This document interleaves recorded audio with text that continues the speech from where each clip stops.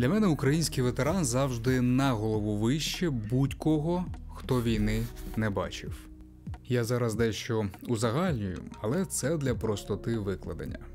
Серед учасників війни є ті, хто війни тієї і не бачив.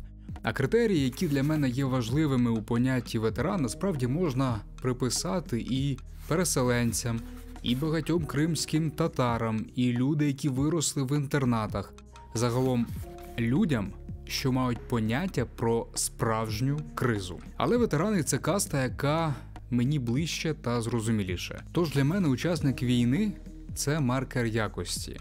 А вже потім я розбираюся в деталях. Вже сама по собі служба в армії це соціальне дно. Там крадуть труси, шкарпетки. Від постійного голоду ти змушений ховати по кишенях шматки хліба, практично ніколи не висипаєшся.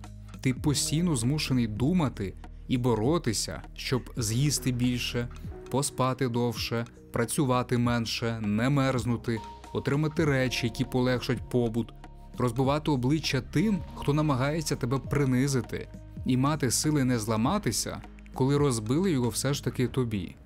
Це перший етап відбору. Другий це війна. Тут відсіюється сміття, яке раніше крало труси і шкарпетки.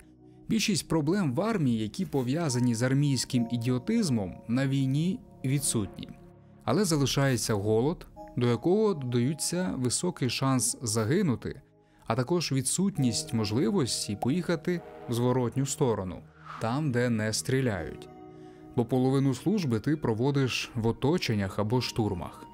Війна навчає по-справжньому, що таке повага. Умовний солдат, діапазон служби якого зачіпав би 13-15 роки, для мене на голову вище будь-якого депутата, активіста, фемініста, журналіста. За людськими якостями я першим довірюсь одразу, а потім буду розбиратись. І з другими ж я спочатку буду розбиратись, а вже потім вирішувати, довіряти чи ні. На мою думку, у людини, яка знає, що таке голод, яка була на дні, яка знає, що таке страх, що таке бійки, що таке біль, і яка пережила це, пріоритети завжди будуть ближчими до здорового глузду, ніж у того, хто цього не знає.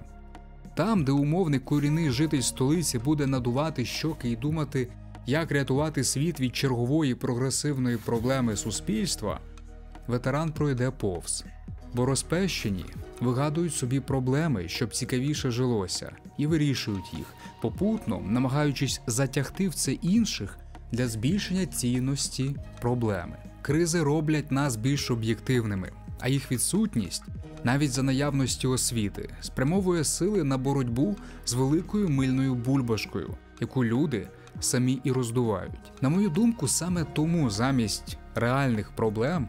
У західному світі так стурбовані питаннями гендеру, хоча це відбувається на фоні 426 мільйонів дітей, які живуть в умовах збройних конфліктів. Уявіть, кожна п'ята дитина у світі. Але в сучасній західній цивілізації гендер, звичайно, важливіше. На заході виросло вже декілька поколінь, які мали можливість дорослішати ситими та в теплі. Сьогодні ці люди, які виросли, не знаючи, що таке справжні проблеми, займають високі державні посади і навчають в університетах дітей.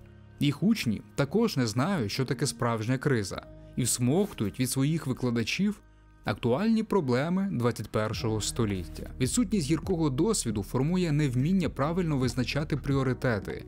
Якщо розпещені стануть займатися дійсно важливими проблемами, вони навіть це будуть робити криво і недолуго. Яскравий тому приклад шведська дівчинка разом з її прихильниками. Контекст, наче дійсно важливий.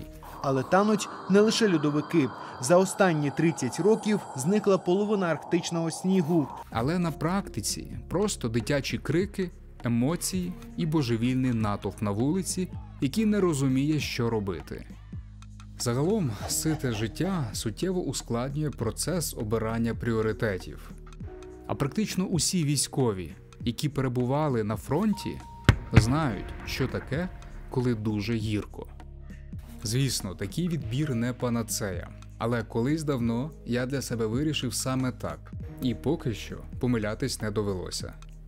Частково по цій же причині ніколи публічно не відкриваю рота на інших ветеранів, навіть якщо вони роблять щось, що в моїх очах є неправильним. Я не дозволяю собі дискредитувати образ ветерана в публічній площині, які б емоції мене не захопили.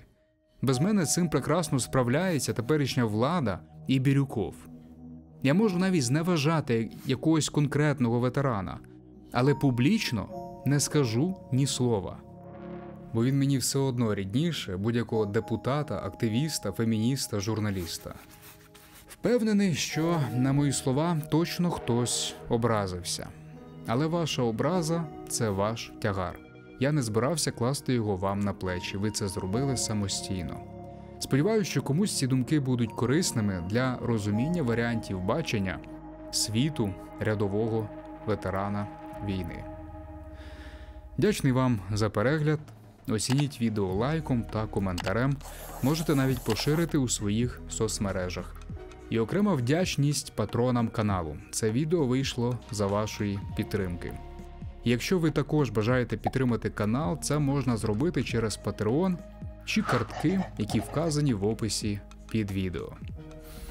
Піс люди!